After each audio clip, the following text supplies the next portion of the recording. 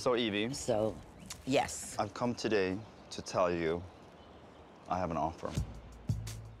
Evie was never a real seller. She's too emotionally attached to the townhouse and also the beautiful memories that it holds, plus her brother, of course. When I saw everyone here, I started to rethink all the wonderful years we had in this house, and it's hard to give it up.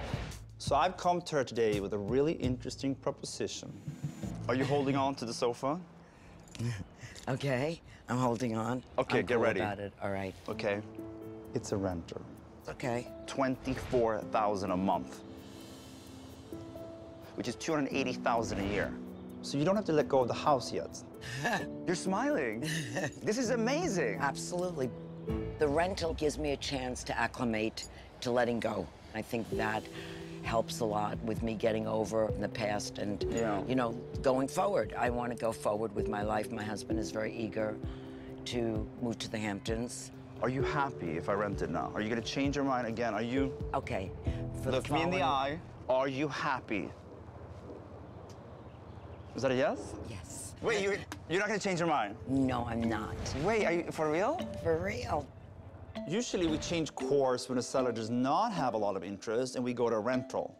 But this is the opposite. Like, I have so much interest. That open house is a major success. And I actually like pushing people. That's my job. But this is different.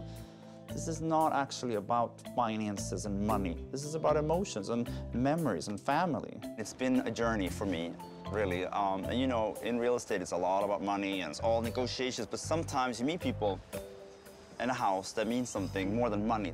I've read all about your brother and what an amazing person he was. And so I wanted to ask you if I could donate the commission, maybe an organization that can help with AIDS research for your brother.